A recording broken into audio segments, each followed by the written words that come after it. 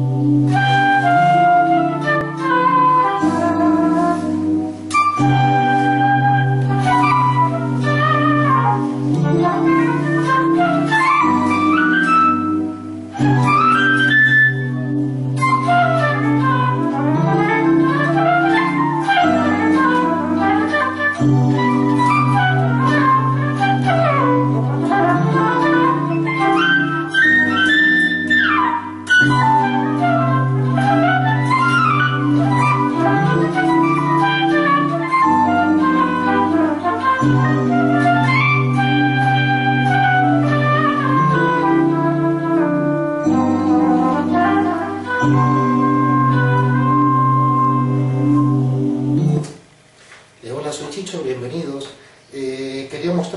eh, básicamente eh, lo que es la, guitarra de fusión, cómo poder empezar con las eh, escalas y arpegios.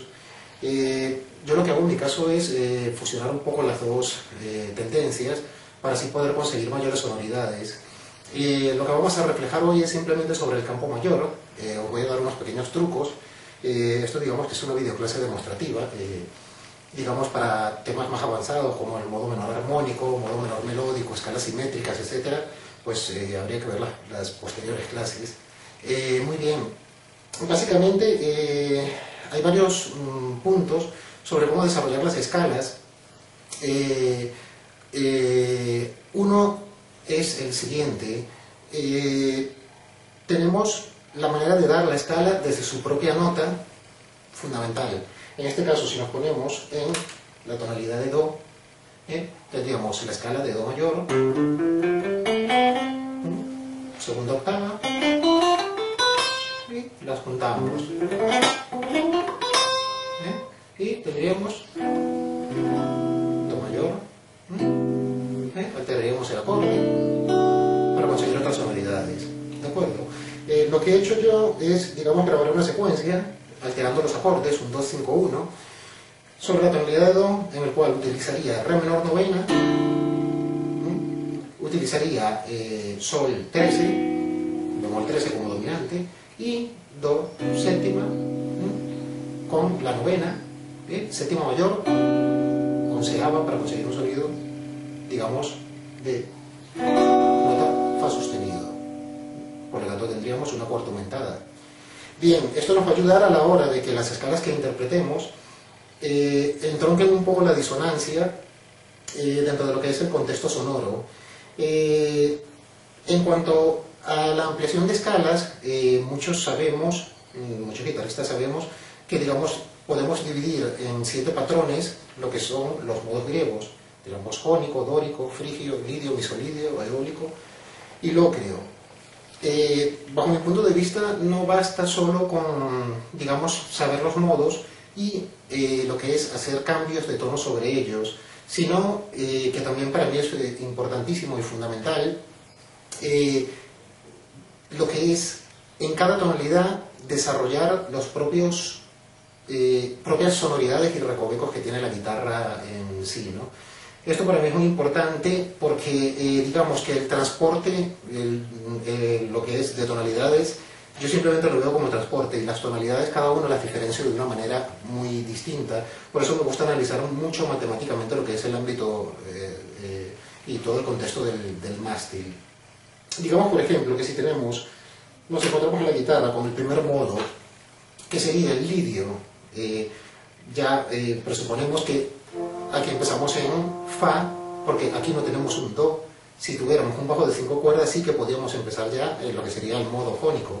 Por lo tanto, en la guitarra, si queremos cubrir lo máximo posible, tendríamos que trabajar, eh, digamos, en este dibujo, tres notas por cuerda. Eh, sería algo por el estilo.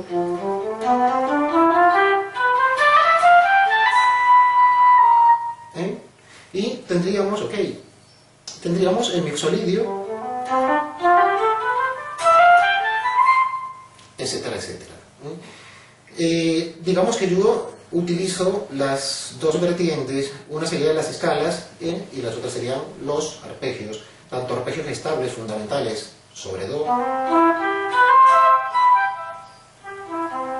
Considero muy importante ascendente y descendente, la unión de esos, de varios arpegios, relacionándolas con lo que son los modos griegos, por ejemplo, y a la vez estoy cumpliendo las funciones, eh, en este caso estoy cumpliendo una función eólica, una función dórica, una función misolidia dominante y función jónica, donde tenemos el centro tonal.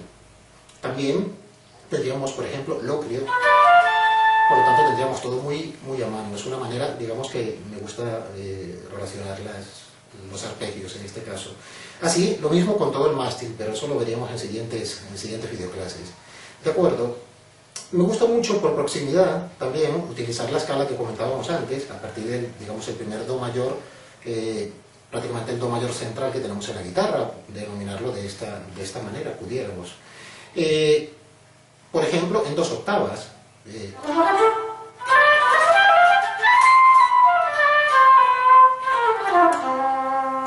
tendríamos tonalidad de Do. Como esa onceava preciosa. ¿De acuerdo? Muy bien. Entonces, lo que me gusta también, digamos, en este, en este aspecto, eh, cambiar la sonoridad y endurecerla un poco más, sería sobre el relativo menor, la menor, utilizar la escala pentatónica, muy simple, escala pentatónica de la menor. Tendríamos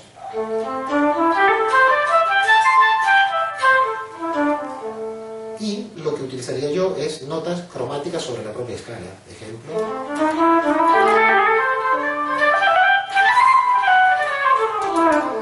Así digamos daríamos un sonido más ambiguo.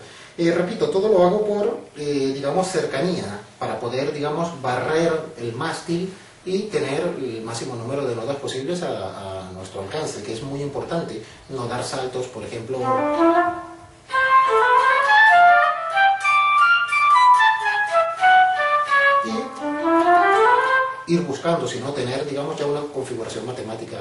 hecha. Podríamos tener un ejemplo. 251. Arpegios. Descendentes. También es muy importante tenerlos descendentes. Arpegios amplios son. Y perspectivas, digamos, diferentes de lo que es sonoridades.